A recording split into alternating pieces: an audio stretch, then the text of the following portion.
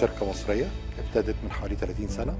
بنخدم قطاعات مختلفة منهم المية والري والبترول والغاز وبعض الصناعات التقيلة زي الأسمنت أو ال- السيراميك أو الحاجات دي.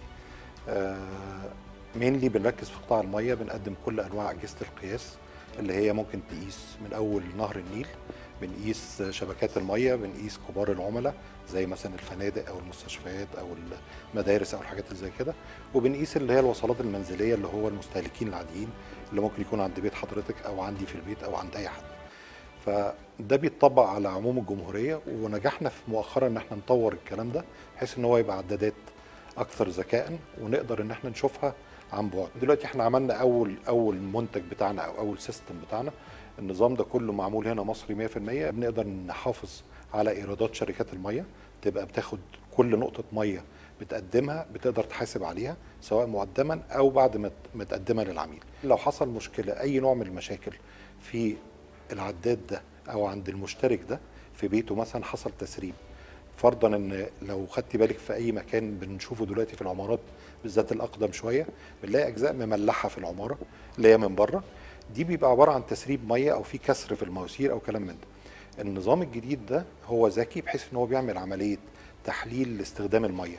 بيجي في الفترة بتاعت بالليل يبتدي يعمل قياسات دقيقة جدا يعرف لنا لو في حاجة مستمرة طول الليل وفرضا إن الناس كلها نايمة ما بتستخدمش فبيقول لي خلي بالك الوحدة دي أو الشقة دي أو الفيلا دي فيها مشكلة إن فيها تسريب مستمر مقداره 20 جنيه أو 50 جنيه في الشهر.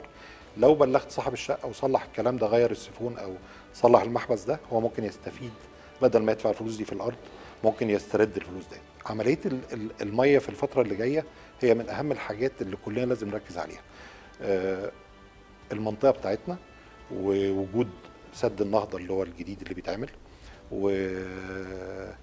وظروف المناخية اللي بتتغير هتخلي فيه ندرة مش عايزين نقول فقر مائي إنما في ندرة في المية محتاجين إن كل واحد يحافظ عليها ويقدرها اللي هي نعمة من ربنا لازم نحافظ عليها كلنا. الموضوع بتاعنا دوت اتعلمناه من شركات كبيرة في ألمانيا وفي فرنسا وفي أمريكا وفي إنجلترا. الشركات دي خدنا منها النو هاو بتاعها وتعلمنا وابتدينا إن إحنا نعمل ده كله محلي.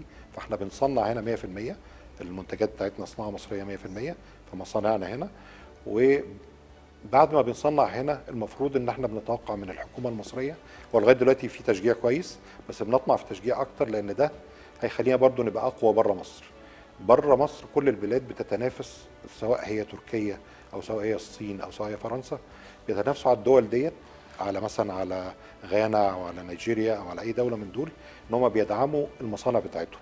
بيدعموها إزاي؟ إن أنا أول حاجة بتبنى المنتج بتاعي وأخليه هو نمرة واحد في مصر أو في بلدي وأديله الدعم الكافي إن هو لما يطلع بره يلاقي سفارتنا بتدعمه آه، قيادتنا السياسية بتدعمه كل الجهات اللي هي المعنية بتدي الدعم لل- للشركة دي أو للمنتج ده عشان يوصل ويوصل بطريقة اقتصادية منافسة يقدر ينجح بيها بره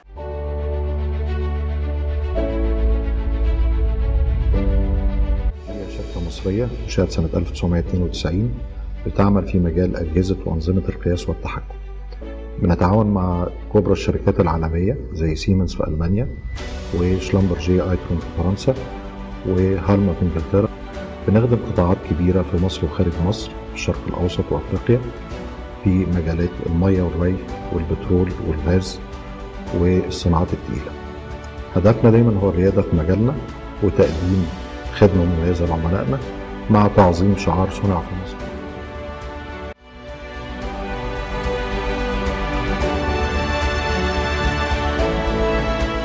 ده العداد التقليدي اللي إحنا بنشوفه في كل بيت المنظومة بتاعتنا ع- اشتغلنا عليها إن إحنا نطوره ونخليه عداد ذكي. فصممنا الوحدة دي عشان تقدر تحول العداد دوت من عداد التقليدي إلى عداد سمارت في قدرة على إن هو يخزن البيانات اللي موجودة هنا ويبعتها لنا طبقا للبرنامج اللي إحنا بنحدده كل دقيقة كل ساعة كل يوم كل شهر زي ما إحنا عايزين. في نفس الوقت عنده قدرة إن هو يحلل البيانات دي ويعمل مقارنات ويبعت إنذارات متى تطلب الأمر أي حاجة غلط. بيلاحظها في المنظومة بيبعت لنا على طول انذار للشركة اللي بتقدم الخدمة وللموبايلات بتاعت الناس اللي بتشتغل في الموضوع ده كمهندسين أو زملاء فنيين. الجهاز ذكي لدرجة إن هو يعمل مقارنات ويدي انذارات عشان لو حصل أي خلل في المنظومة أو عند العميل نفسه نعرف على طول في أقل من دقيقة آه، إن في مشكلة في الحتة الفلانية في تسريب في فاقد في مشكلة نقدر نعرف الكلام ده. لو في حد بيلعب في العداد هنقدر- نعرف. هنلاحظ هنا إن الشاشة أكبر نسبيا فإحنا ابتدينا من حيث انتهى الآخرون أو أكثر تطورا من من اللي موجود حاليا. كل الحاجات القديمة زي الموبايلات الصغيرة بتاعت زمان كان بيبقى شاشة قد كده. إحنا عملنا حاجة أكبر نسبيا وفيها إمكانية على إن هي تتصل بالنظام اللي هو بتاع الكارت أو بالنظام بتاع ال GPRS أو المحمول أو النظام بتاع البلوتوث اللي هو ال- الإشارات القصيرة.